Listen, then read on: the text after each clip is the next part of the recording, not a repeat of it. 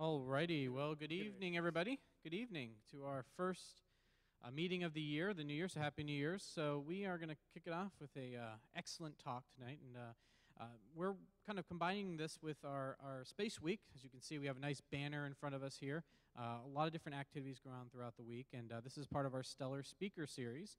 And so it's a joint CFIS as well as a joint uh, planetarium activity. And so we want to go ahead and uh, kick off with our program here. And uh, what we'll do is we'll do our program. After that, we'll follow up with Q&A, and then afterwards, we will uh, have a little bit of a uh, cool 3D simulation of the OSIRIS-REx mission using our planetarium software. So I want to go ahead and introduce our speaker tonight. Um, uh, his name is Dr. Humberto Campins. He is a professor of physics and astronomy at UCF and the head of the planetary science group at the college. Uh, studies asteroids, comets, and other small bodies in the solar system using a variety of ground based, airborne, and space based telescopes. One of his current interests is the role that asteroids and comets may have played the origin, in the origin of water and organic molecules on Earth and Mars. Dr. Campins is the co investigator on NASA's OSIRIS REx asteroid sample return mission, launched on September 8, 2016. He is also the co investigator in UCF's Center for Lunar and Asteroid Surface Science class, uh, funded by NASA's Solar System Explorations uh, Research Virtual Institute. In 2015, he served on NASA's Formulation and Assessment Team, FAST, for NASA's Asteroid Redirect Mission, ARM, and he is the leader of one of the two teams to discover water ice and organics on the surface of an asteroid. Uh, so with that, let's go ahead and uh, welcome Dr. Humberto Campins.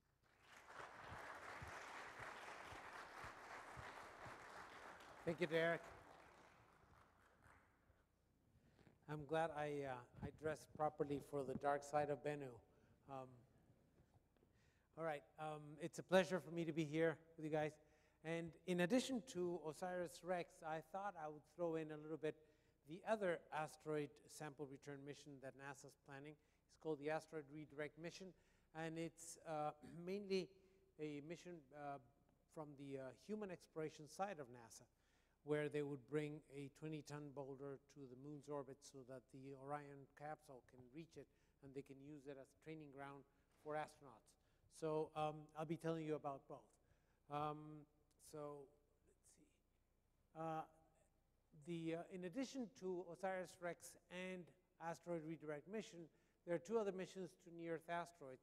One that launched already and it's on its way there, the, Hayabusa 2 spacecraft that was launched by JAXA, by the Japanese Space Agency, and it's headed to uh, near-Earth asteroid Ryugu, and will encounter it about six months before OSIRIS-REx gets to Bennu.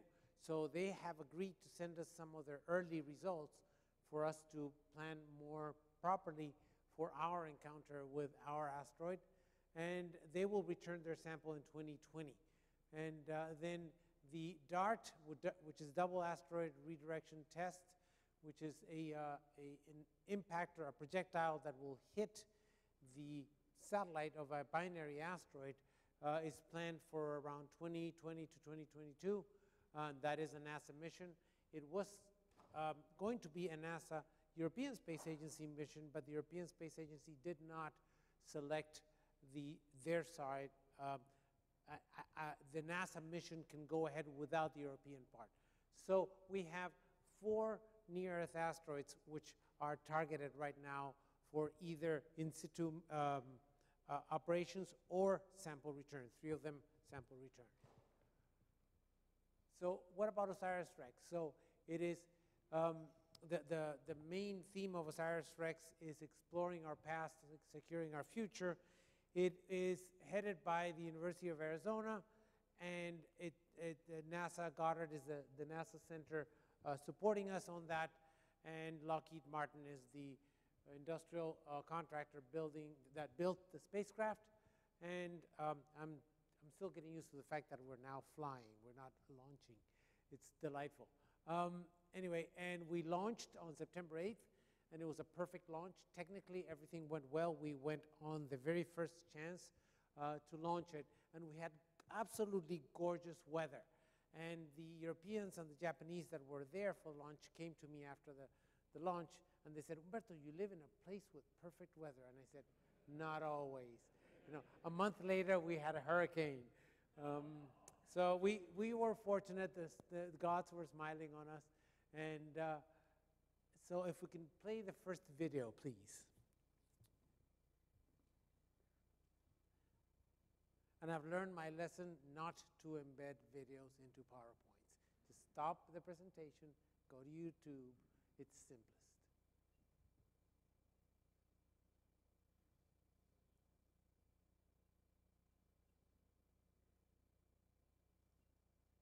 Sounded simplest.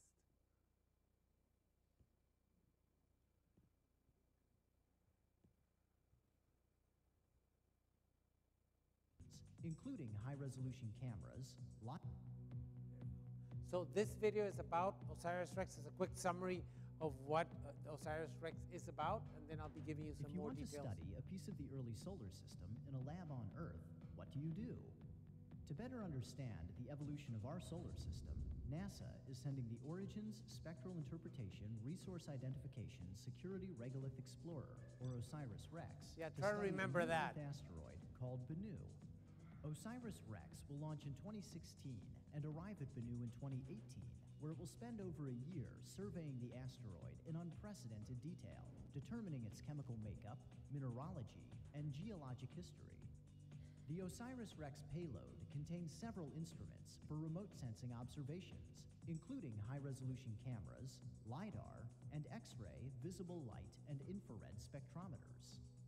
Knowing the physical properties of Bennu will help scientists to refine its orbit over time, including deviations caused by heating and cooling from sunlight, and it will allow them to pick a site for OSIRIS-REx's primary mission, retrieving a sample of the asteroid for study on Earth. In 2019, OSIRIS-REx will deploy its touch-and-go sample acquisition mechanism, or TAGSAM, and slowly approach the sample site. When the TAGSAM touches the surface, it will release a burst of nitrogen gas, causing loose rocks and soil to flow into the collector. Since Bennu may be rich in organic material or water left over from the formation of the solar system, sampling it could reveal whether the building blocks of life were present at that time, perhaps providing clues to the origins of life itself.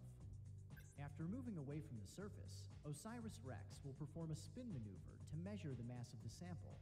Then it will carefully stow the TAGSAM head inside the sample return capsule and prepare for the journey back to Earth. Upon arriving home in 2023, OSIRIS-REx will release the sample, giving us a piece of the ancient solar system that will be studied for decades to come.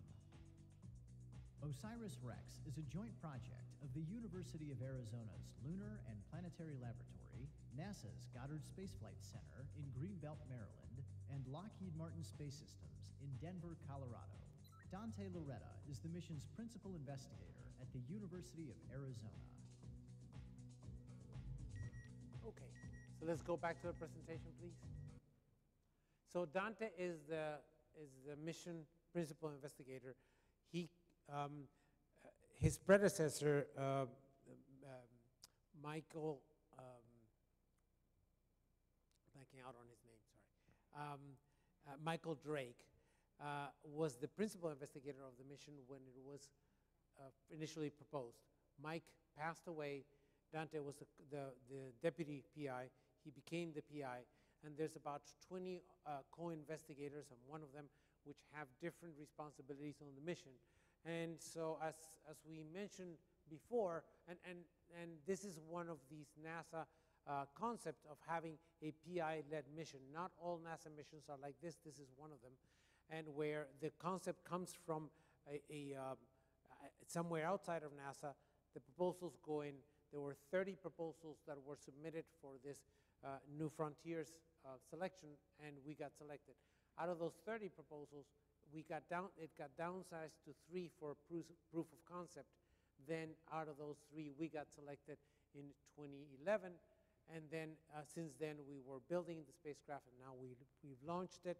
And it, as, as, as the video said, its origin, so return and analyze a sample of pristine carbonaceous asteroid regolith, spectral interpretation, so to provide ground truth for a lot of telescopic data on other asteroids that we've done from the ground.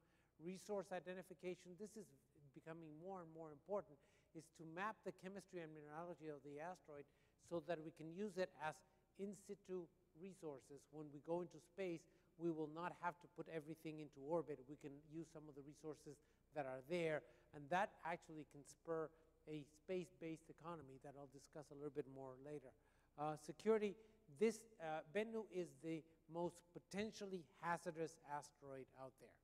That doesn't mean that it's threatening Earth now, but it's the one that has the hi highest potential of changing its orbit and threatening Earth in about 160 years.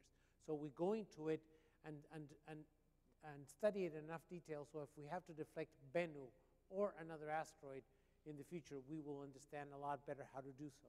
And then Regolith Explorer is that we're going to be documenting the site from which we take the sample so that we can understand the context of where it came from. And uh, by, you know, the, by doing all these things, um, OSIRIS-REx will help to understand the history of the solar system because in that sample, grain by grain, we will, we will see different processes that shaped the early solar system and the formation of all of those pieces that, that uh, went to make up the asteroid. We will be mitigating impact hazards in the future. We will be enabling human exploration, for example, the asteroid redirect mission that will then send astronauts to a, a piece of an asteroid, and then developing this space uh, economy uh, that I will be discussing a little bit in a little while. So um, just to put this mission into context, this is only the fourth NASA mission that is going to bring back samples, extraterrestrial samples to the Earth. Um, and this is the history of sample return mission, missions from 69 to 76. It was Apollo and the Soviet Luna that brought back samples from the moon. Then the solar wind sample was returned in 2004. There was a big gap then from 76 to 2004. And then that was from uh, solar wind samples from uh, uh, NASA Genesis. And the, uh, there was a sample from, by the way, the, uh, the battery on my, my, my laser seems to be dying if you guys have a backup. Um, and there was a uh, Stardust return dust from a comet uh, tail in 2006. Then the, the Hayabusa spacecraft went to a near-Earth asteroid and returned samples from a stony asteroid in 2010. And even though the samples were micrograms, were very small, we learned a lot from them. Uh, and then that inspired, in part, uh, our emphasis in going to a carbonaceous asteroid that would tell us a different story from that that is told by a stony asteroid, which was what the Hayabusa 1 spacecraft uh, returned.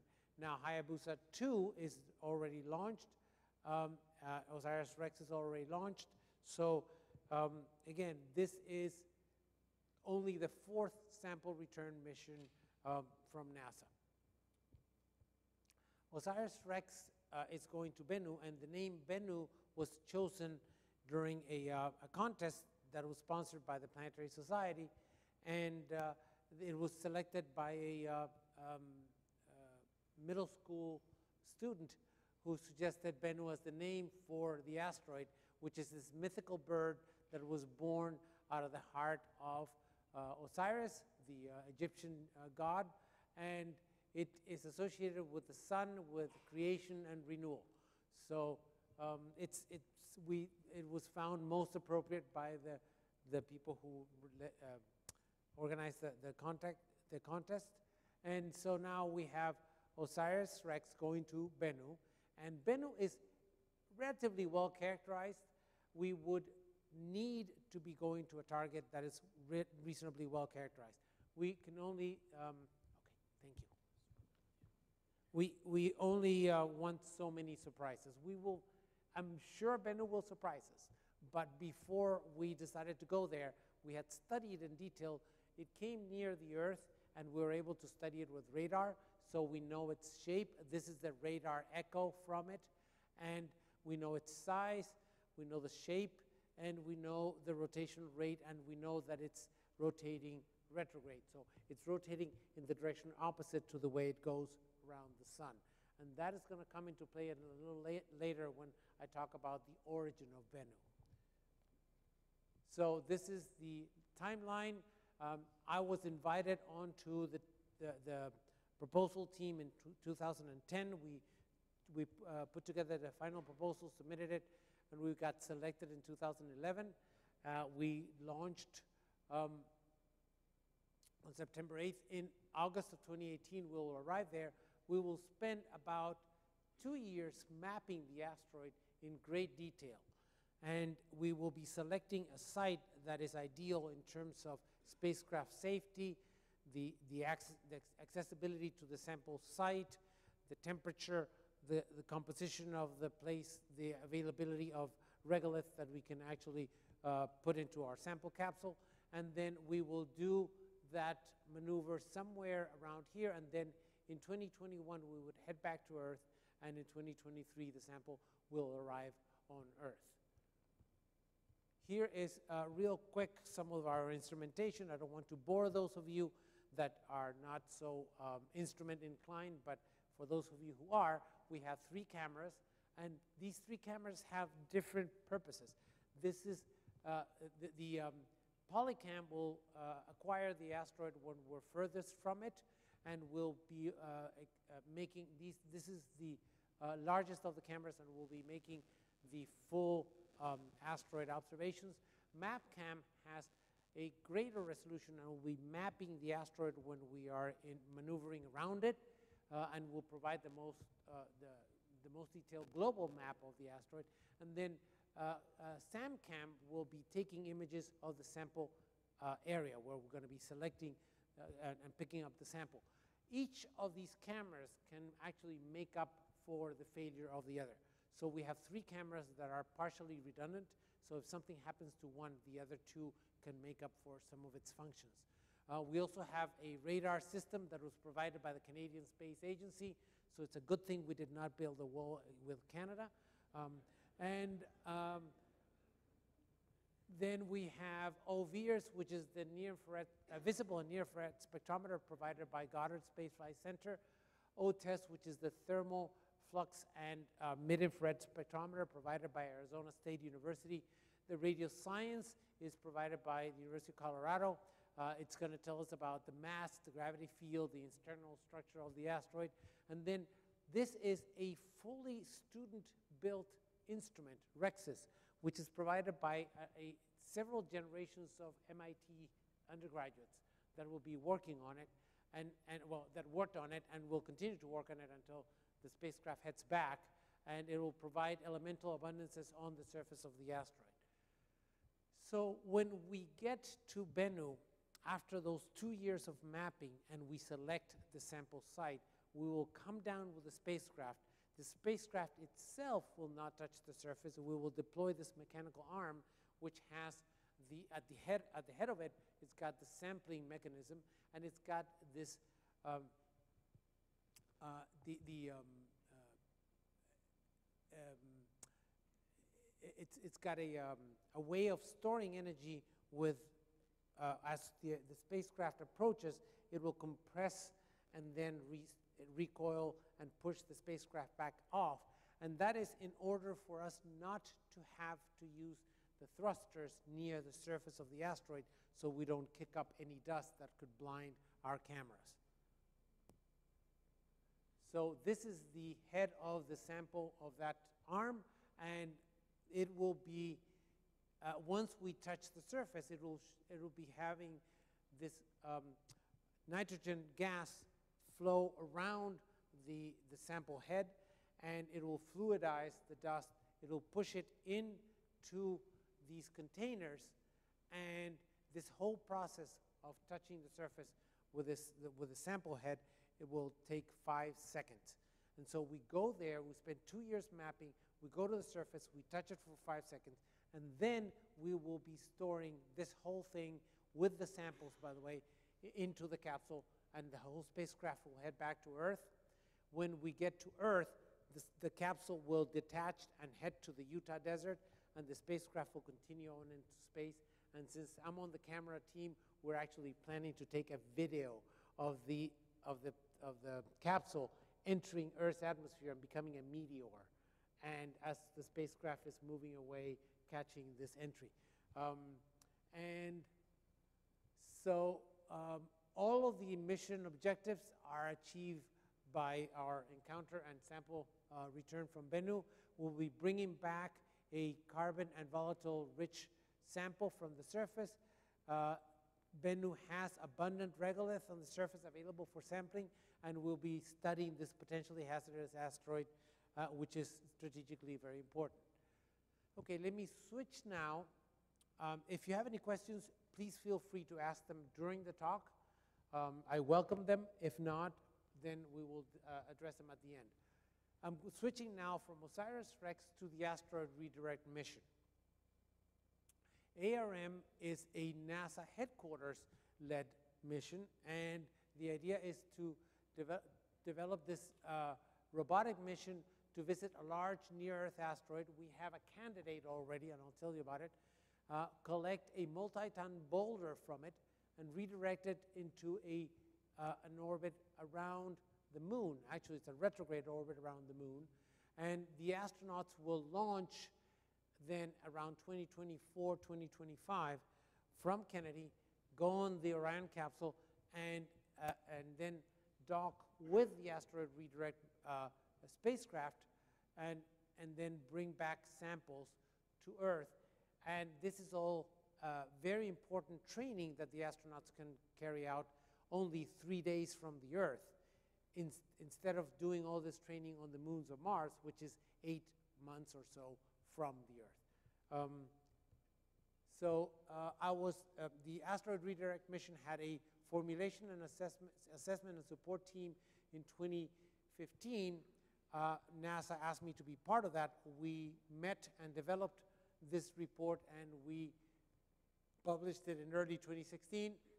Um, it, a, asteroid redirect mission is now selecting an investigation team to be part of uh, uh, you know, the, the, the, whole development and, and operations of the spacecraft. The asteroid redirect robotic mission is planned for launch in 2021 and return to the moon in 2025. And the asteroid redirect crewed mission, so crewed by CREW. Um, so the, the, the, the astronauts will be going to it around 2026. Um, could you play the, okay, thank you. So this is another short vi video about the concept of ARM.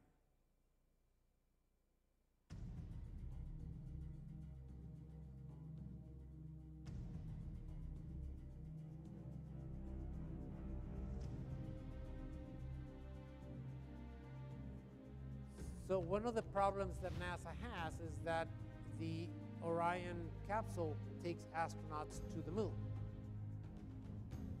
We got to the orbit of the moon in 1968. So they'd like to do something new with it. And so if we actually uh, do this, we will be bringing a training ground for the astronauts to do something new that they haven't, they didn't do back in 1968. So this is the spacecraft. It's got large solar panels. It is an ion engine spacecraft, it, and that will be the first use of this engine. Um, and when the spacecraft goes to the asteroid and lands around the boulder, notice that it is not firing the thrusters.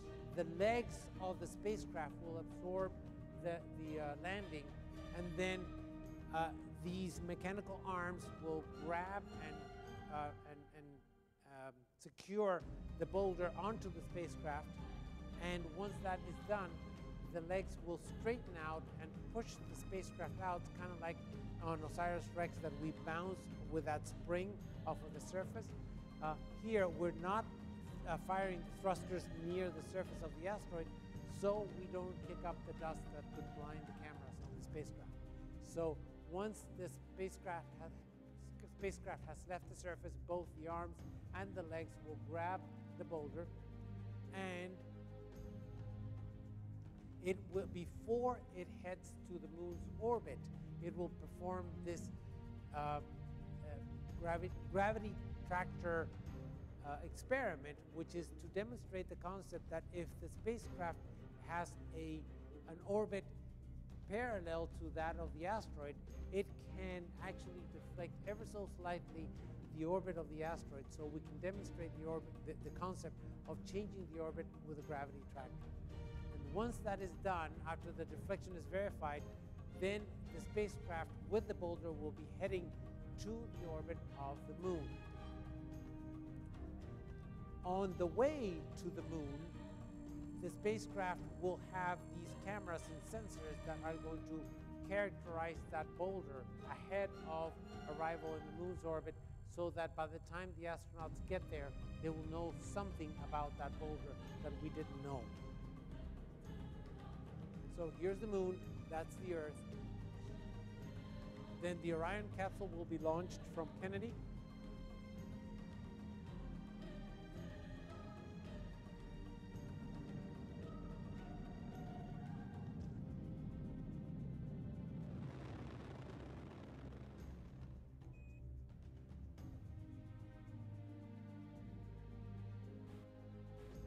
They will dock with a spacecraft.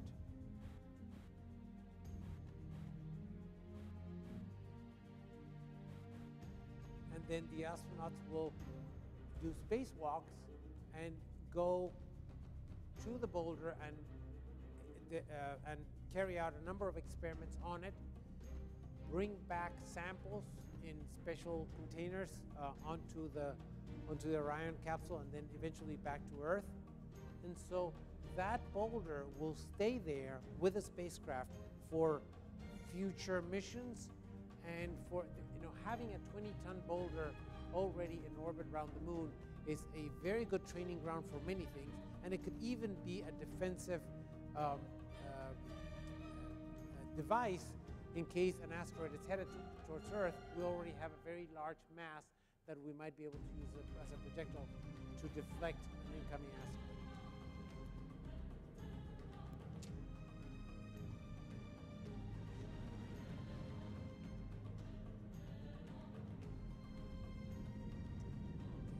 Go back to the presentation. The astronauts arrived safely on Earth, just in case you were wondering. It's no Tom Hanks here.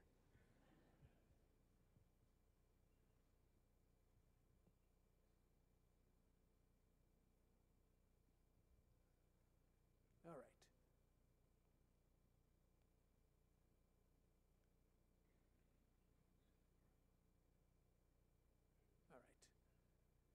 So this is the, uh, the, the, the gravity tractor maneuver that I was talking about.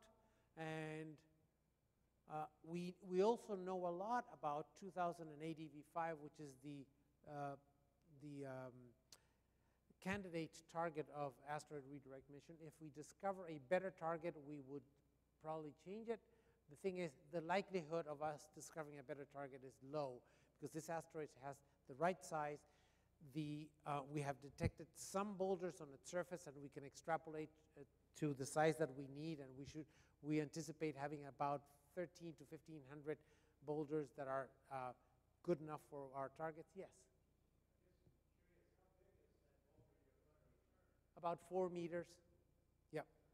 Uh, and it's 20 tons uh, of mass or 20 tons of weight in Earth's gravity, but at the gravity of the asteroid, it's very light. Um, I, I couldn't hear you. It, yeah, this is, it's about, let's see, one, two, three, four. It's about that wide. Welcome. Okay. So, uh, and so this is uh, about the same size as Bennu. It rotates a little bit faster than Bennu, and its obliquity is 180 degrees. So its pole is perpendicular to its orbit, but it's rotating retrograde. So we'll go back to this in a little while. All right, so where do uh, near-Earth asteroids Bennu, Didymos, 2008 EV5, and Ryugu come from? So the four targets of, of spacecraft missions. So uh, the sample return and in situ missions will characterize their targets uh, the target asteroids in detail. So the spacecraft will tell us a lot about those asteroids. But Earth-based studies will establish the, the broader framework and maximize the value of these spacecraft results. Um, here is the asteroid belt. So here's Earth, here's Mars, and here's Jupiter. The great majority of the asteroids are in green, and they are between Mars, Mars and Jupiter. But some of them cross Earth's orbit, and those are called uh, near-Earth asteroids. And uh, here's an albedo map of the main asteroid belt. So this is distance from average distance from the sun. This is 2 AU, so twice the distance between the Earth and the sun. Mars is off the scale on this, on this side, and Jupiter is off the scale on this side. Uh, and so this is inclination with respect to the ecliptic. And so here in blue are asteroids that have low albedo. And low albedo basically means they reflect very little light. They, will, they would look black to our, our eyes. And those tend to be the primitive asteroids, the ones that have not changed very much since they formed. And then in red and yellow are high albedo asteroids. And so where in the asteroid belt in this plot do uh, uh, the asteroids that we're going to be visiting with spacecraft come from? And it turns out the source region is here, where I put this square. It's near a resonance we call the nu 6, and then near, it's also delimited by the, uh, this resonance with Jupiter at 2.5 astronomical units, which is called the 3 to 1. Um, so the Yarkovsky effect, which is this effect that I'll be discussing in more detail in a second, will tend to move asteroids either away from the sun or close to the sun, depending on how they're rotating. If they're rotating prograde, they'll move away from the sun. If they're rotating retrograde, they'll move into the sun. And for most sources of asteroids that go into these resonances, we should get about a 50-50 mix of retrograde and uh, prograde. But turns out the majority of the near-Earth asteroids have retrograde spins. And the, for them to prefer retrograde spins, that means that they preferably come into near the Earth through this resonance. So if you see this curved um, region here, that's called the nu 6 resonance, when asteroids hit that resonance, they can become Earth crossers, and they prefer that route as we have determined both dynamically and spectroscopically. And also now with this retrograde spin axis, they, uh, they, most near-Earth asteroids have retrograde spin axis, which which tells us they most likely came from the nu 6 uh, resonance. And so what the Yarkovsky will do is that it will move the retrograde objects inward, and once they hit that resonance, they're likely to become Earth crossers. And so the Yarkovsky effect is basically the following. The asteroid, let's say this is the sun, and the asteroid is in orbit around the sun, and it's rotating. And if it's rotating prograde like this, its hottest point will be, the afternoon point will be in that direction. As, I, as the asteroid emits most of the heat in that direction, it feels a little bit of a kick that over millions of years can move it, and it will be moving, spiraling outward. If the asteroid is uh, rotating retrograde, then the hottest time of the asteroid will be in this direction, so the afternoon will be in this direction. So my emission of heat in that direction will slow me down and I will spiral inward. So uh, because of that, then, and knowing that most near-Earth asteroids are retrograde, then that is in agreement of, as I said earlier, of all of our uh, spectroscopic and dynamical studies that suggest that most asteroids in the Earth, near the Earth's orbit come from that, that part of the asteroid belt. So we know that most near-Earth asteroids come from the inner belt. But can we go further? Can we say where in the inner belt these asteroids come from? And the answer is yes. Here's a blow up of this region of the inner belt. And so this is the nu 6 resonance over here. And these are the low albedo families and the background asteroids outside those families. Why low albedo? Because Bennu, Ryugu, and EV5. The three of them are low albedo, so we concentrated on studying these low albedo families. And there are uh, several families. Here's the Polana family. This is the Erigone family. This is the Sulamitis family, the Clarissa family, the Clio family, and the Chaldea family. So we have been studying these families from the ground to try to understand if these asteroids are, belong to one of them and to try to understand the origin of these asteroids. And by studying others like them, we may be able to get a better idea of how they formed. Um, there's also this background of low albedo materials um, that are not officially part of the families, but you can see that the background tends to concentrate where the families are. So it looks like the, the background asteroids are coming from the, these families slowly dispersing. And asteroid families form when a, a large asteroid gets hit by another one and breaks up into a number of smaller pieces, which will slowly separate from each other. So um, these are these low albedo near-Earth asteroid families, and the largest is the Polana family. And last year we published two papers on the Polana family, um, and and we have a number of results. And it looks like both um, uh, Bennu and EV5 could be coming from the Polana family. Um, then there's the Erigone family, and again, we, we just finished our uh, publication of the results on the Polana, on the Erigone family, and we are in the process of studying the Sulamitis family right here in blue.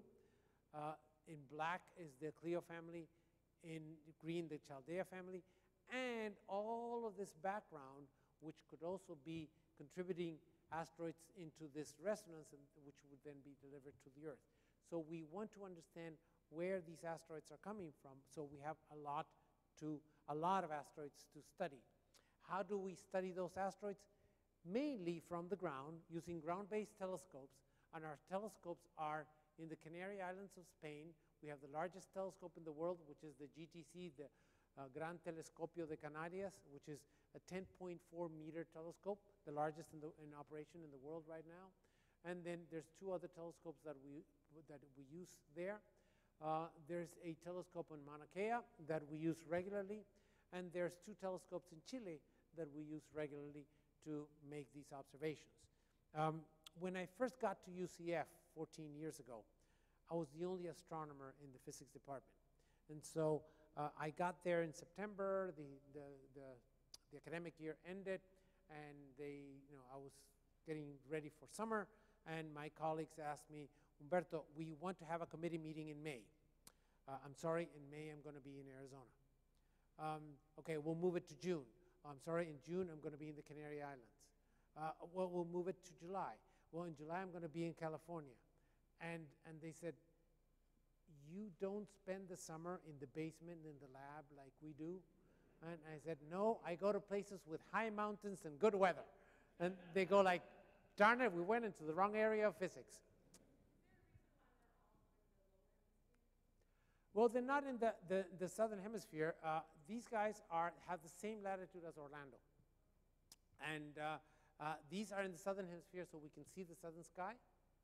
Uh, these are in the northern hemisphere, so we can see the northern sky. And they, they, they are in areas where there's very relatively little rain, uh, high mountains, clear skies, away from population areas that cause a lot of light pollution. Yes?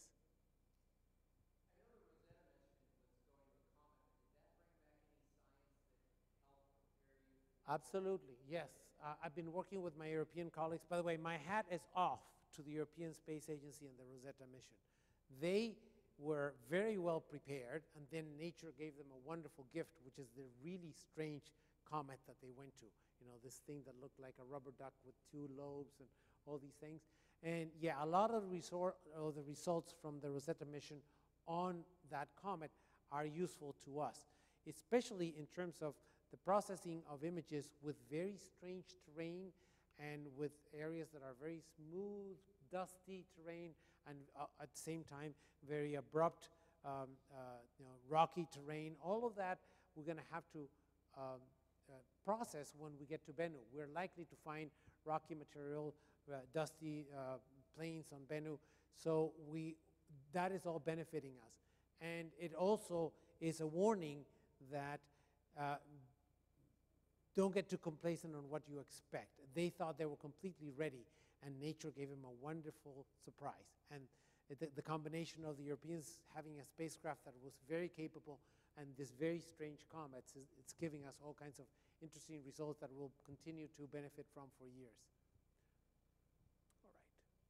So um, uh, back to developing a space economy. The, the, the idea is that if you get into space, um, hydrated minerals and water are very valuable because out of that you can get uh, propellants for, for, uh, um, for spacecraft, and you can also get uh, a lot of the material that you would need to build instruments in space.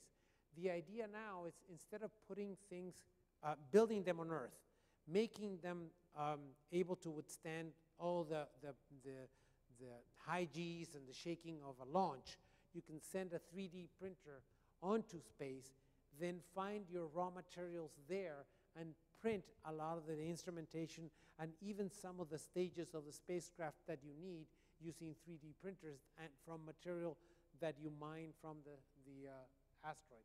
So near-Earth asteroids are basically wonderful resources that we hope to um, use for, um, for space exploration, human and robotic.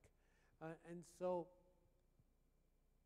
the spectroscopic characterization of asteroids can help identify targets ideal for in situ resource utilization, for example, hydrated minerals and metal-rich uh, asteroids that can, that can be used so that we don't have to put all of that into orbit, which is much more expensive energetically and, and financially.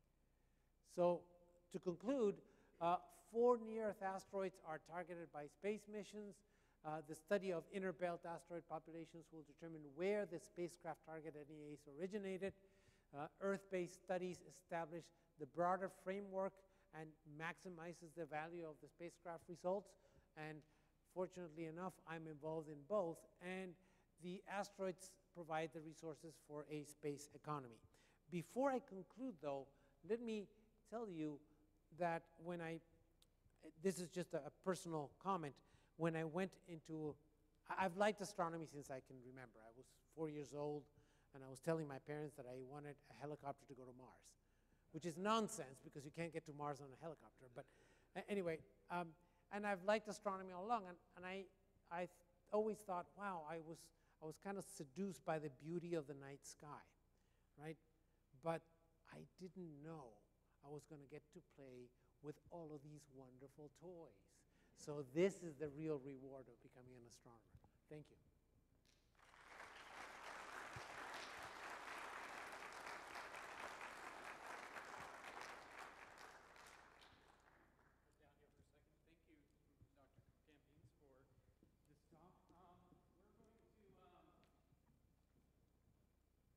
We're going to pass the mic over to the audience. We are actually doing a live stream tonight.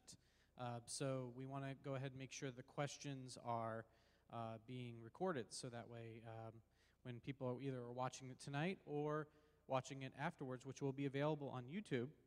So for any of you that have friends or family that couldn't make it tonight, uh, we'll be having this uh, on our YouTube channel for them to share. So uh, we're just going to go ahead and pass the microphone to our audience. And if you have a question, uh, just raise your hand and I'll do my best. This is where I exercise some of those brownies I ate. But, but you are going to show your, your animation. Yes, we're going to Okay. do that at the, at the end, yes. Okay.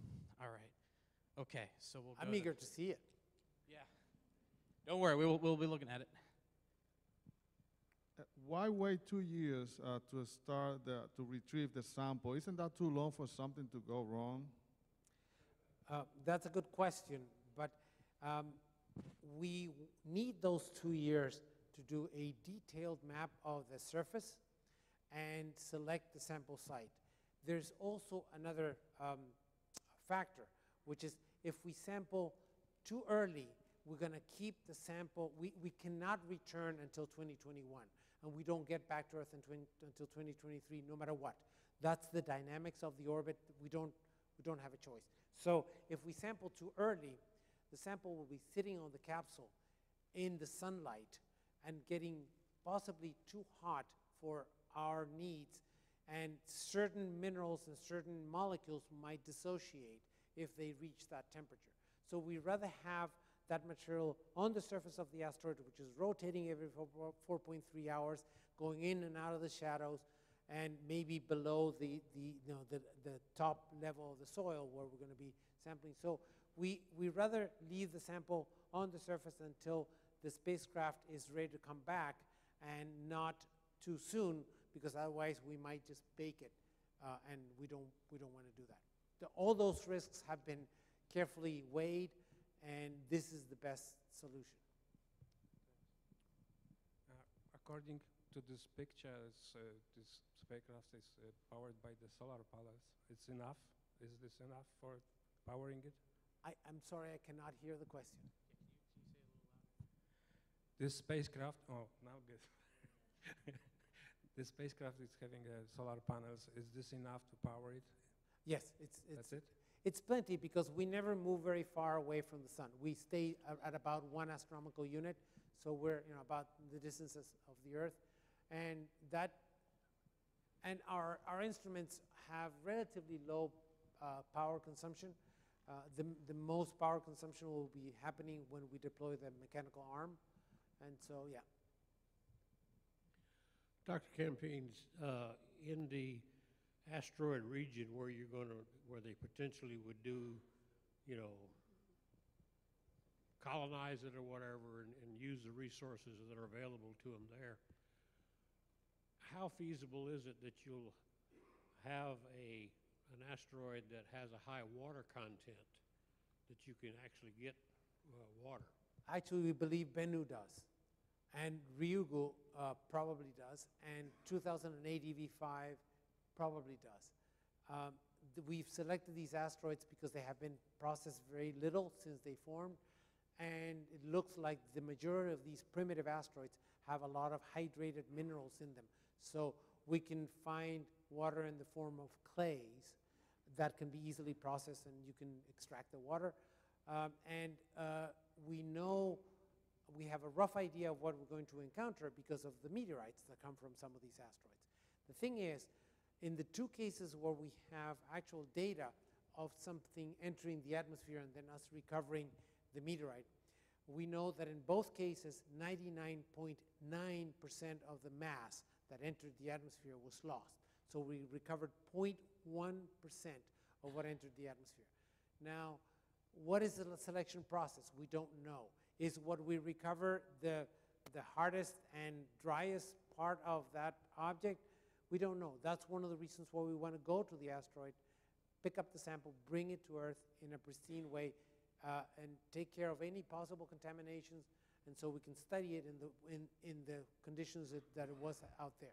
But we're rather confident that we're going to find hydrated minerals. They have been detected on many asteroids, uh, main belt asteroids, and in one near-Earth asteroid, and we've, we've actually detected water ice on the surfaces of two asteroids, which is uh, a, a pleasant surprise. When, when we discovered the water ice on an asteroid Ceres and an asteroid um, um, Cybele, we were actually looking for hydrated minerals. And to our pleasant surprise, we discovered ice and we published that. And in addition to that, we noticed that there was, there was other structure in the spectrum that indicated that that ice was mixed with organic molecules. So we have, in some of these asteroids, the building blocks for life. Might be fish in there. I'm sorry? There might be fish in there.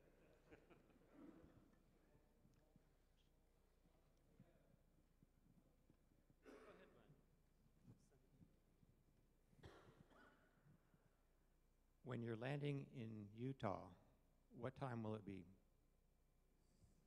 What time will it be when it lands, the return sample lands in Utah? It will be approximately sunrise. Okay? And the return sample being in a retrograde orbit, is that something to do with orbital mechanics considerations so we don't smash into Earth or something? No, the, the return sample will not be in a retrograde orbit. It will be prograde with respect to. No, I'm talking about the, the other return sample. And I'm talking not the return sample, but the capture, putting it in the moon's orbit. Oh, the, yeah.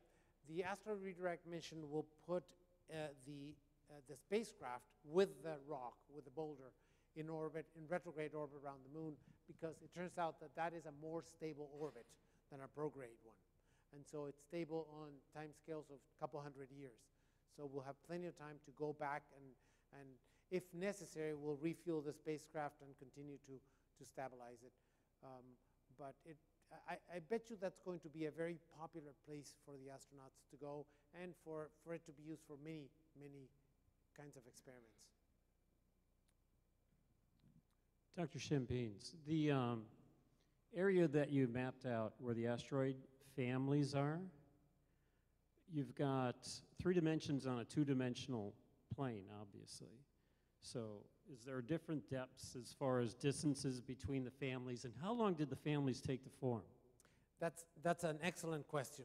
The Polana family, which is the largest, formed about um, one to two billion years ago. Um, we estimate that because of the spread of the family and, and other characters. And, and I chose uh, I chose semi-major axis and inclination because they show up best, but you can also pick semi-major axis and eccentricity, or you can use other. Uh, uh, it, it's a it's a it's it's a it's a complex dynamical uh, environment, and you can choose which elements you plot to to show family membership or not. But uh, so the oldest is the Polana family. It turns out the Polana family contains at least one subfamily which is younger, which is Eulalia within Polana. But when we did our study spectroscopically, Polana and Eulalia are exactly the same. The spectra, we, we, we took about 60 spectra um, of, of members of both families, and they're, they're identical. So the Eulalia family is a, it's, a, it's a younger family inside of Polana. That means somehow two pieces of Polana collided and created a, a younger subfamily.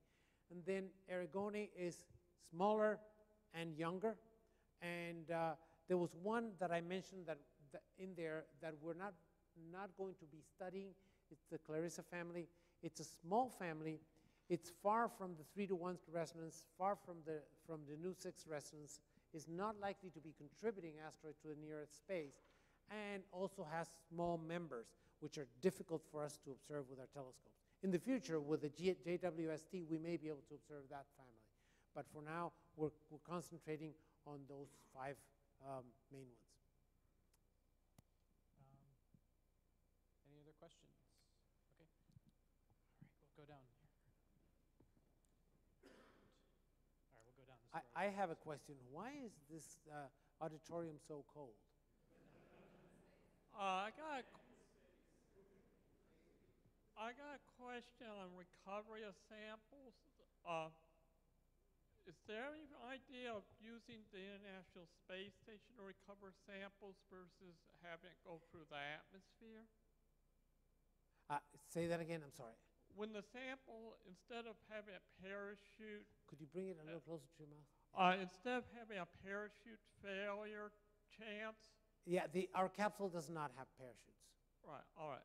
It's, it's, it's designed to, to be aerodynamically slowed down by, by our uh, atmosphere, and it's also designed to withstand the impact. And, and so Right. we do not depend on, on uh, All right, if you, uh, you ever thought of using the International Space Center, I mean Space Station, to recover it, and that way it comes down in a cosmic, uh, uh, yeah, with, the that, with the space station. yeah, that adds a level of complexity and cost that was not within our budget. All right, it's just curious about the yeah, idea. yeah, it's cheaper to just send it through the atmosphere, have it land in the Utah desert, and we'll be ready to pick it up. Um, for the ARM mission, you said that they will bring a boulder back and put it in a, a lunar orbit? Yeah. Um, and how long do they plan on keeping it in that orbit? Like, It, it, as I said, it's a very stable orbit on the orbit, you know, with timescales of more than a couple hundred years. So it will go there, and the spacecraft itself has maneuverability, so it can stay, you know, it, it, it can correct the orbit if necessary. And then the astronauts will go there, dock with it, um, use it as a training ground, and then, if necessary, that orbit can be modified. Um, I was wondering if an L4 or L5 uh, on around the moon is actually the would be no more the, the, uh, stable. the retrograde orbit around the moon is more stable than, than the, uh, the Lagrangian points around, between Earth, Moon, and, uh, and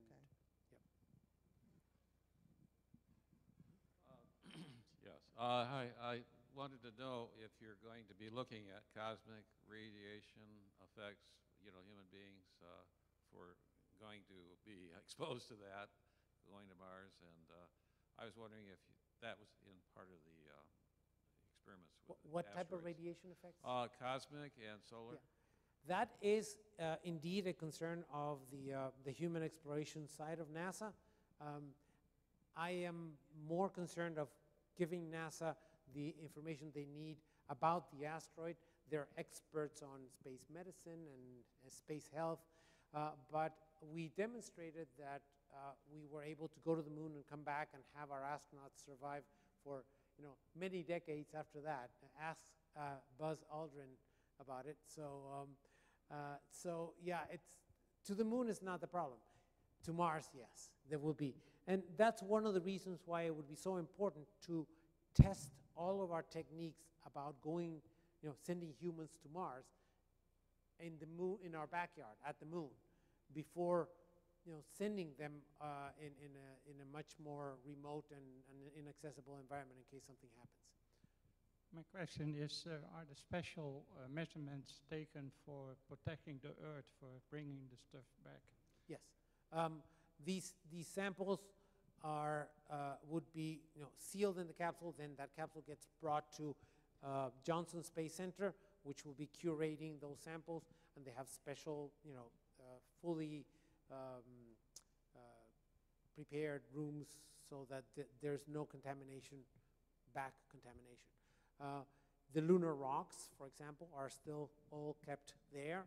Um, and uh, there, there are all kinds of precautions for uh, back contamination. We're mostly worried about not contaminating the sample ourselves with exhaust, with grease, with uh, our atmosphere, all these things. So that capsule is well sealed, and, and it's, there's a lot of, a, a large chunk of our budget goes to contamination prevention. My question is kind of like the moon thing. Um, Closer, okay, sorry. Um, When we take an uh, asteroid or a boulder out of its family, I mean, I would assume that each of those families has some kind of different configuration as well as minerals and stuff. Okay, so when we take a boulder and take it and put it outside in the orbit around the moon, isn't that like putting an invasive thing into a new area? Well, um, i- i- invasive sounds like I- living. I hate to use that word, but Yeah, but, I know what but, yeah. Um, so in other words, we, you, you, you're worried that the other members of the family will come up in, in with shotguns and say, no. what you did with my son, boy? What I mean is, is, um, you know, is it gonna cause damage to the boulder because it's in a different environment? Yeah, no, I, Or I'm jo- is I, it- I was, I was joking, I of course. But, i- yeah, it's, we, we, we actually want, we want to do that because that, the original idea, by the way, of asteroid redirect was to bring the entire asteroid to the moon's orbit for the astronauts to, to, to explore it. But in, the, the larger the mass, uh, the more difficult it will be tran- to transport. And the smaller the piece, the harder it is to see. And you know, my colleagues at NASA, um, mostly at NASA um, Johnson, came up with this idea uh, to go to an asteroid that was large enough for us to track and pick up a small sample that was small enough for us to transport. And by picking up that sample, the mass of the spacecraft and the rock will be greater, and they will put it next to the, to the main asteroid in order to demonstrate the concept of deflecting them. And we want to use that principle in case we need to deflect an asteroid that will be threatening Earth. And in, in, a, in a more extreme case, if we needed to deflect something that is headed towards Earth, we could use that 20-ton boulder and it's the spacecraft that is attached to it as a projectile to change the orbit of something that could be headed towards us. Okay, uh, so it's gonna be a small piece, so, and does it have to be small to be able to orbit the moon? I mean, No, I didn't think it- the moon had that much gravity to have a bunch of stuff around. The, the moon has, has plenty of gravity to keep it in its orbit. The, the, the, the, um, the limiting factor is that it has to be small enough for us to grab it physically and secure it to the spacecraft when we're transporting it to the moon. In order for us to discover something that small, you know, four meters across from, from Earth, it's essentially impossible. But we could discover its larger parent where it's sitting and then go explore it, go down onto it, grab it, and bring it for the astronauts to, to use. So back on the discussion about the materials off the asteroid, not wanting them to get too hot, I was curious if we have an estimate, what is the temperature gradient on the asteroid from, I say to say day to night, but as it rotates Yeah, it's, it's in and out of the sun? uh, about between 350 uh, Kelvin and um, probably close to about um 80, 70 or 80 Kelvin on the night side. So yeah, so you get to liquid nitrogen temperature on the night side, and then about 350. Uh, so uh, it's that 350 um, would be about 70 Celsius. So yeah, it, it's hotter than Death Valley. Um, and uh, so that, and, but remember, this happens very quickly. And uh, the, reason why the night side temperature doesn't go any lower is because it's rotating very fast. So there's thermal inertia that keeps the nighttime above, uh, you, know, uh, you know, three degrees Kelvin, which is the, the, the equilibrium temperature with, with uh, deep space. Got my curiosity up. What is the smallest object? You're talking about four meter on the asteroid or so. What's the smallest object you can track then? If you're going to put something like, uh, say, 15 feet across, 20 feet across around the moon. That we can track Right. depends on how far it is. Right. Well, right? Of course. If it's Duh. really, if it's really close to us, for example, like 2000 and um, let's see, 2012 DA14, which came very close to the Earth in in um, 2012, yeah, in 2012, and then in uh, February February 15th of 2013, it passed between the Earth and the geostationary satellites. That came very close to the Earth a year earlier, and it was picked up by the, by the sky surveys. And uh, it was determined that it was going to come really close. And as a result, I decided to uh, organize at UCF this asteroid, um, uh, what was it called? The asteroid, um, uh, in, the asteroid approach party. And so we were going to have live video from Australia because it was going to be happening during the daytime and all this. So we set up the Pegasus Ballroom, which normally seats about 800 people um, uh, for, for the public to, to come. We were talking to the press, and the press were going like, what? You have a what? Nah. Eh, we, if, you know, if it's a slow news day, we may say, send somebody. And then God helps those who help themselves. About 16 hours before that, the Chelyabinsk meteorite fell in Russia. I heard something on BBC just before going to bed. I had the bad habit at that time to listening to the BBC of, oh, the whole world is falling apart again. And, and, and, and they were just all the bad news. And they said, a meteorite might have fallen in Russia. And so I go to bed. I wake up. My cell phone's got like 15 messages from all of the news agencies wanting me to be in the morning shows on live TV. And I had no idea what had happened. So I said no, because I didn't know what was going on. I said, I got an event to worry about. So I go to my event, and we were told by one TV station that they might send a crew. We had six TV stations. And the, the, um, the, uh, the auditorium, which, by the way, the people at UCF said, we've never filled this auditorium. So they had set up like 300 people. I said, no, no, no, no, put up uh, everything. So they did, and they were standing room only. Anyway, so it was, we, we, it was we lucked out. Rather be lucky than, than good. That's the whole story of my career. Um, and so, but this whole story is to let you know that we detected DA14 because it came a year earlier. We did not detect the Chelyabinsk meteorite. That came essentially from the sun, and we and it was you know a, a few meters across.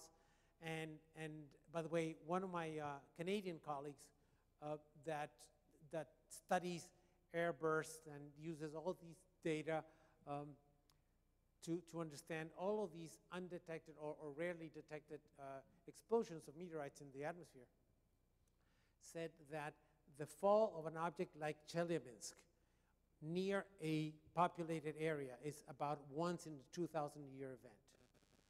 Uh, so in order for the astro asteroids to have hit the atmosphere in such a tangential trajectory, exploded about 20 or 30 kilometers above the city, and that uh, shock wave having injured a thousand people.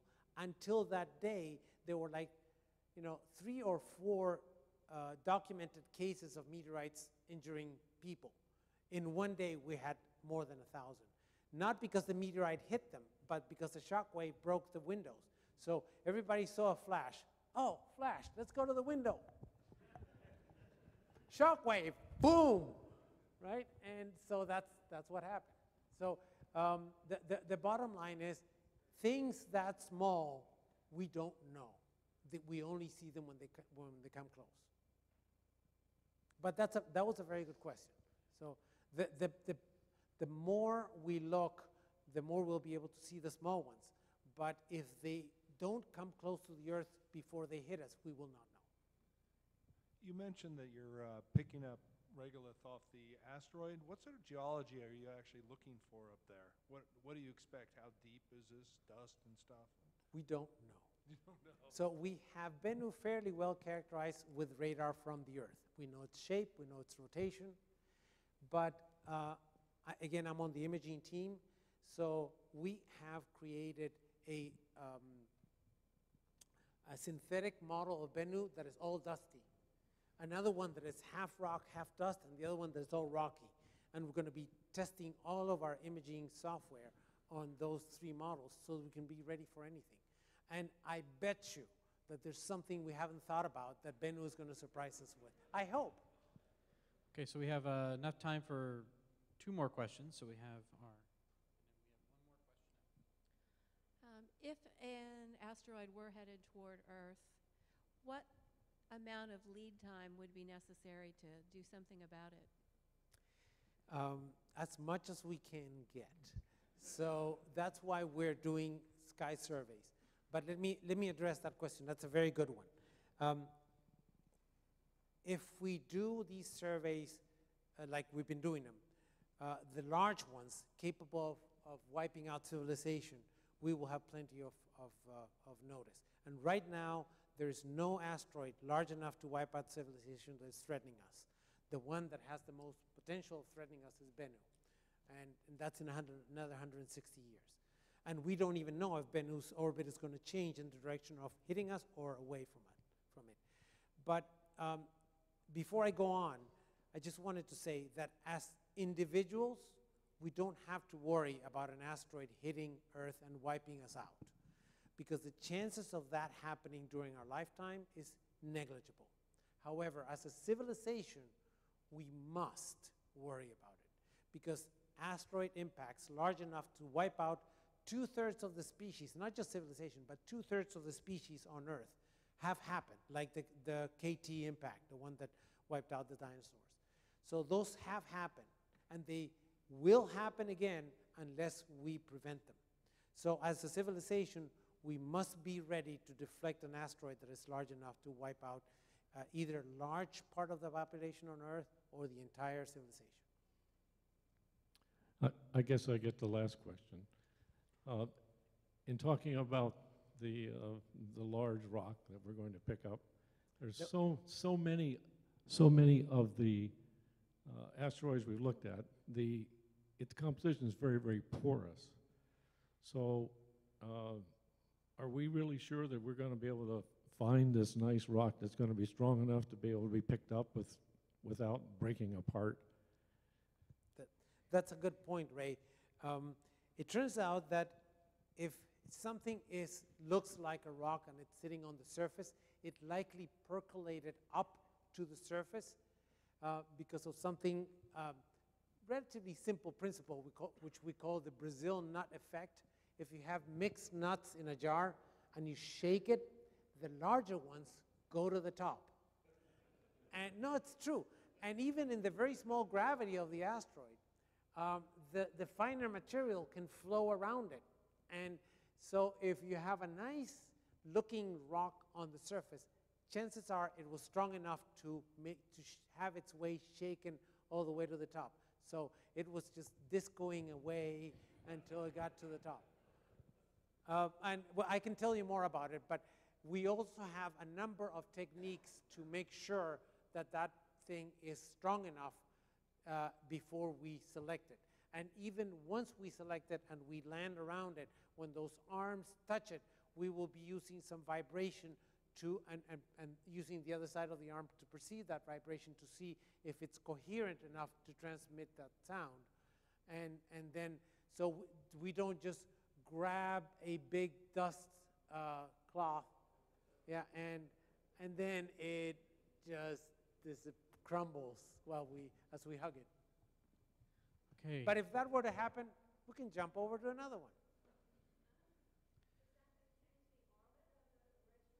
Will it change the orbit of the original? Uh, what do you mean? Yes, it will. And we hope to measure that and use it if we need to deflect an asteroid. Okay, Dr. Campins, you're not off the hook just yet because we have on our projector right now, we Oh, have right. a Can I sit down? Yes, you can. You can sit down, but we were hoping that you could uh, maybe do a little bit of narration as we Oh, fly sure. around the spacecraft. And Yeah. I mean, uh, we, we could do it, but why not get the expert to do it, right? Okay. So if we can actually, is there any chance we can bring down the lights just a little bit so we can enhance the uh, the? But uh, fair warning, this is the first time I've seen this video. It's it's all good. This is this is to test your your uh, improv, you know, improv skills. There we go. So So CFAS has done this, right? This yes, we, we no, no. This is uh, this is the uh, planetarium. So pla- the okay. planet, the Buehler Planetarium is our our software that we use for So what, why don't you narrate a little bit, and I can, I can, I can chime in as you need me. Okay, all right. So this is this is the uh, spacecraft OSIRIS-REx.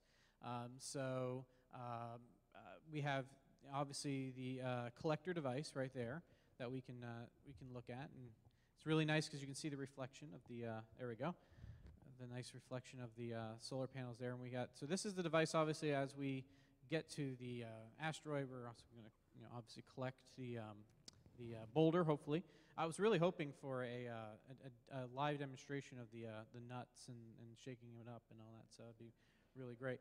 But um, but anyway, so um, Dr. Campins, can you mention some talk about any of the instruments that we're flying by here? Yeah, so what you see in there in gray with a yellow back is the, uh, the capsule that will be launched back to Earth. And some of the things that are sticking out are the three cameras uh, in the, the, the, the Polycam, SAMCAM, and, um, and uh, MapCam, the three cameras. And then there will be the, uh, the mid-infrared spectrometer, the visible and near-infrared spectrometer, the, um, uh, the LiDAR, and uh, so they will all be pointed toward the asteroid as the spacecraft flies around it and does this mapping, which will be in you know, visible images in several colors, and then uh, we will have the spectrometers both in the visible, near-infrared, and mid-infrared doing this uh, not only topographical but also compositional map of the asteroid. And then based on about a year and a half to two years of that mapping, we will select the site where the spacecraft will then approach the surface, deploy the mechanical arm, and touch it. So uh, I think this, this animation will now show the orbits of both the Earth, uh, Yeah, so Bennu, zoom out a actually the there. Earth, Bennu, and OSIRIS-REx. Okay, so we're going to be zooming out here, so you'll be able to actually see the trajectory paths of the of the spacecraft, the Earth, and the asteroid.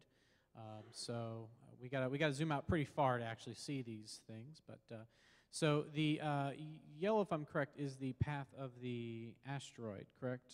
Okay. Thumbs up. All right, making sure because it's hard to see at this scale. And then we have uh, there we go. There we go. All right. So we have the path of the Earth right here. And then the asteroid right here in this blue category. So uh, usually the green in our UniView software are planetary orbits, bluish are minor planet objects, so asteroids, comets, uh, dwarf planets, things like that. And then, of course, spacecraft are in yellow, even though there's been a debate whether or not it's orange. So it could be orange or yellow, whatever color you see. Uh, so we're going to go ahead and speed this up and take a look at the trajectory of our spacecraft. So obviously, as we can see here, we're going to have to um, use the orbit. We're going to do a little bit of a gravity assist, basically. And eventually, um, and correct me if I'm wrong. Okay, there we go. So we, uh, we Yeah. cross paths with the Earth. That's the Earth's gravity assist, which is going to be in September of 2017. 2017. All right. So, okay. And I, I, just correct me if I'm wrong. How many passes of the Earth are we making before we One. finally one? Okay. Yeah. All right. And we will use that uh, Earth gravity assist also to calibrate some of the instruments by looking at the Earth-Moon system and making sure that know, they, that we, we understand the responsivity of all the instruments. Okay, so if we continue on here, eventually we're going to, with that gravity assist, we're eventually going to make our way to contact with the asteroid. And the contact is going to be in August of 2018. Uh, do we know an exact date yet for that? Well, it, um, no, it depends on, you know, how exactly, how uh, sensitive um, uh, Polycam is. And so we, we will be acquiring sometime around that time. Okay, so August 2018. So this year, August is already with the eclipse, so you know you don't have to worry about that. So August of next year, we'll be uh, making contact. So keep your fingers crossed. And then eventually, uh, we'll leave the asteroid, and then of course make our way back to uh, the moon. So To the right. Earth. To the Earth, Yeah, yes, to the Earth. Osiris Rex is coming back to Earth. ARM Oh, goes right, right, to right, the right. That's right. orbit. Yep. You have a question over there. It, it takes, you know, typically we're going to be about an AU away, so it takes about eight minutes. But most of the time, everything will be programmed and will be automated. And so we'll be evaluating what the spacecraft sends us uh, every day and deciding whether we want to change the programming or not. But all the programming is already on the spacecraft. Okay, we so change it depending on you know on, on what we find, but all the programming is already there. Okay, so what we're showing right now are potentially hazardous asteroids um, near Earth. Near Earth, that's what we have turned on currently. So, um, so as you can see here, this is kind of a visualization. So I think eh, back to Eric's question about, um, you know, uh, what the dimensions are basically, the uh, scale of that, and uh, so that we can kind of visually see that relationship to the Earth's and Earth's orbit. So. Um, there we go. And then this one is potentially hazardous asteroids, just potentially hazardous asteroids. So uh, there's a lot of them out there. Let's put it that way. A lot of them out there. But none of them are threatening Earth right now. Not right now. Potentially hazardous. Yes, potentially. So we, you always want, if you're always, you know, obviously doing a, re, you know, a, a talk to the general public or the media, you definitely want to use that word potentially in there. Otherwise, you'll end up in the wrong tabloids. Let's put it that way. So, all right. I, I'm sorry.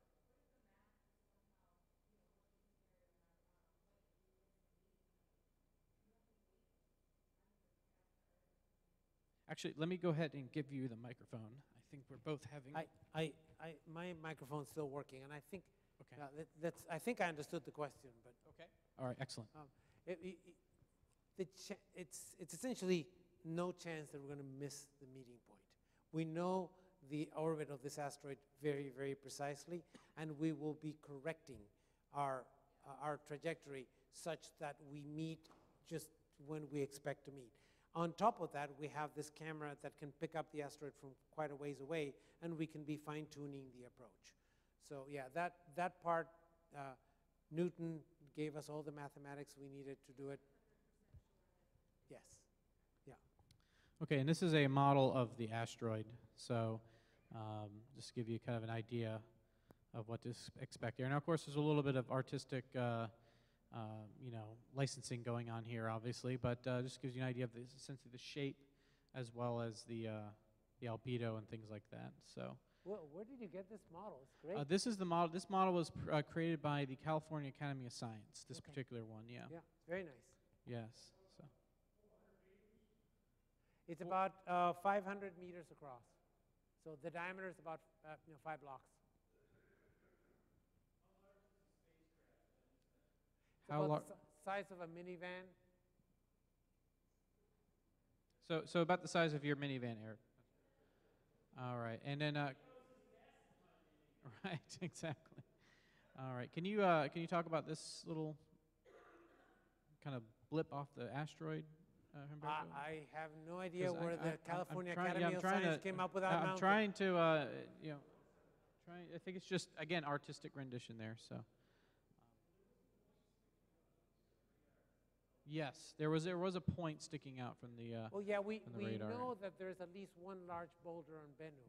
Uh, I, why they colored it differently, I don't know. Probably just to maybe show it off a little bit easier so they can find it, maybe, Yeah. I'm thinking. Okay. And by the way, we need to establish a coordinate system on Bennu as soon as we get there. So we're planning tentatively to use that boulder as our reference point, as our Greenwich for the zero meridian.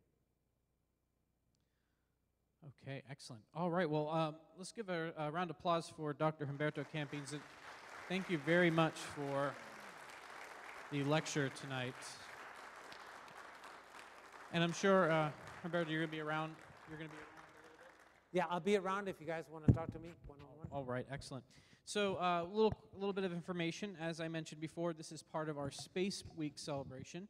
Our next big event that's coming up is this Saturday night. That's our Winter Sky Festival. It's from 5 to 11 p.m. We're going to have telescopes, obviously, for those that are here representing the Central Florida Astronomical Society.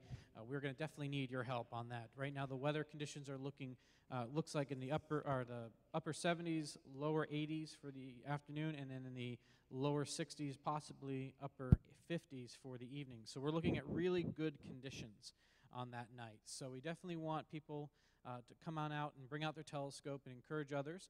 Uh, but that's from 5 to 11. If you are interested in volunteering that evening, uh, contact me. My contact e- email is demeterd at seminolestate.edu, uh, or you can also find it on the website. Um, and uh, tomorrow night we have um, a talk, basically space night at the Abbey for Nerd Night Orlando. So basically, what it is is we talk about science and we drink, basically. So, uh, so it's a lot of fun. We'll have telescopes set up for that. Um, I'm going to be speaking as well as Michael, and uh, we also have Seth Mayo from the Museum of Arts and Science over in Daytona. He's going to be talking um, as well. So we have a nice lineup of speakers, and we're looking forward to seeing you there. Um, there are some, hopefully, the refreshments will still be there by the time we're done with this. So if you guys want to congregate out uh, into the hallway and uh, just, you know, hang out for a little bit, that's great. Uh, talk with Humberto here. And, um, and uh, other than that, uh, the other news that we have is that we have our Canaveral National Seashore Star Party on the 21st. We'll be sending out more information about that um, a little bit later on. But uh, other than that, thank you all for coming out tonight. And uh, it's a little bit different meeting. Uh, we are going to be back, for those that are in Central Florida Astronomical Society, we are going to be back at the planetarium next month in February. So uh, all of these weird meetings that we've been having at different locations, it's going to change. We're going to head back into the planetarium next month. So definitely check on out what we're doing. And uh, again, thank you all for coming out today and have a wonderful rest of the evening.